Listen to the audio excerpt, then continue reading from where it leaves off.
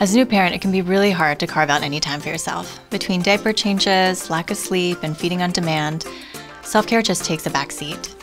However, it's really important to take the time to re energize to be the best parent that you can be. Here's some tips to make self care a priority again. Staying active and healthy while breastfeeding is really important.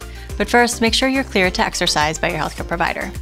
Once you do start, take it slow. Make sure to listen to your body. Remember, you're still healing. Start with easy walks with your baby or sign up for a mom and baby yoga class. This can help with rebuilding core strength and pelvic floor muscles. Work your way up to moderate intensity aerobic activity, such as brisk walking, swimming, or riding a bike. There can be a lot of pressure to get back to your pre pregnancy weight and self. Healing, both physically and mentally, can take a lot of time.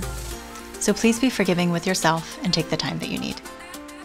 Eating healthy snacks and staying hydrated is important while breastfeeding. If you've just given birth, now is not the time to restrict your diet. Remember, you're burning the calories while breastfeeding, so make sure to get those calories in. Try a variety of foods fruits and vegetables, lean proteins, whole grains, and good fats. These will help to nourish you and your baby. Try to avoid sugary foods and processed foods. And remember to drink your water. Hydration is key to produce the breast milk that you need for your baby.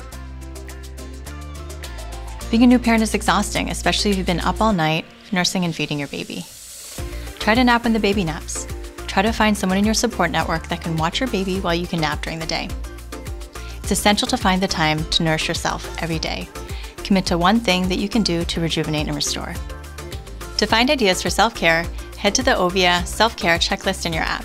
It may be helpful to check off items or activities in the app to make sure that you're keeping yourself a priority. Whether it's going to a yoga class, meeting up with friends, or taking a warm bath, find the time to take care of yourself. You really, really deserve it.